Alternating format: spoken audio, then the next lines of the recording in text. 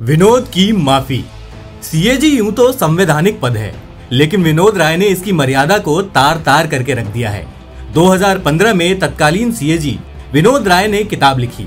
अब सोचने वाली बात है कि अगर किताब मोदी काल में आई है तो कांग्रेस की बुराई तो उसमें होनी ही थी।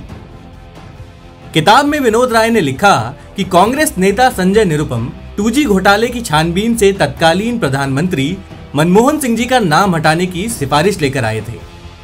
ये कहानी विनोद राय ने बना तो ली, लेकिन इसमें सच्चाई उतनी ही थी जितना मोदी सरकार में विकास है, यानी नाम मात्र का।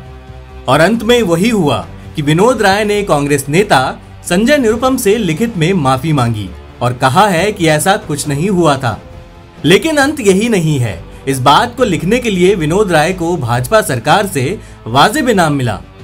कांग्रेस पर फर्जी आरोप लगाए गए और भाजपाई आकाओं ने इल्ज़ाम लगाने वालों को अमीर ताकतवर बनाकर रख दिया। लेकिन विनोद राय की माफ़ी इतने सालों बाद आई। अब वो एक काम और करें कि देश से माफ़ी मांग ले, झूठ बोलने के लिए।